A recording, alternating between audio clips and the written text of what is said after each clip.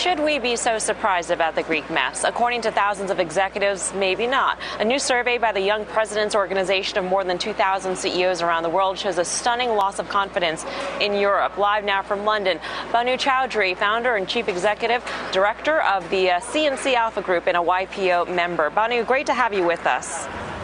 Great to be here. What specifically were red flags in the people's minds who you surveyed?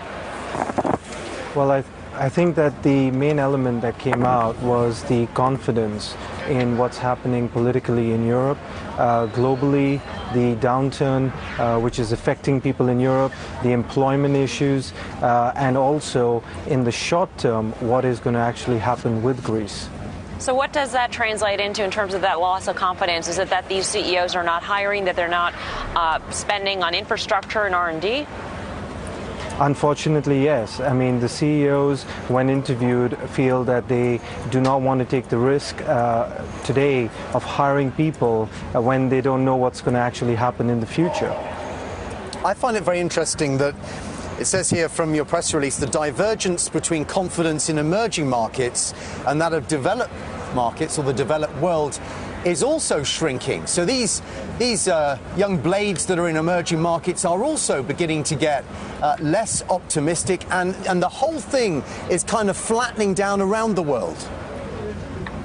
Yes, it is. There is definitely uh, a decline across the world in, in the emerging markets. Uh, but what is also interesting to see is that there, the confidence level in, in the US is starting to pick up now. Uh, it has surpassed Europe. Europe is today below uh, the US. And we feel that, to, uh, that in the near future, the US is going to come out of this far quicker than uh, the rest of the world.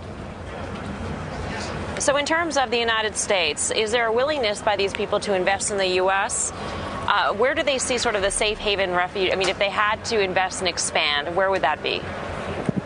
Well, we as a group, uh, C&C Alpha, we invested in the US. We invested two years ago in the banking sector. We went into sm uh, small community banks. Uh, we took over, and we've seen a huge growth in that field. In the residential multifamily dwellings, there is a huge demand where people can't afford to buy new homes, but they can definitely afford to rent homes. And that, again, is a very big market. All right, Bhanu, we're going to leave it there. Thanks so much for joining us, Bhanu Choudhrie.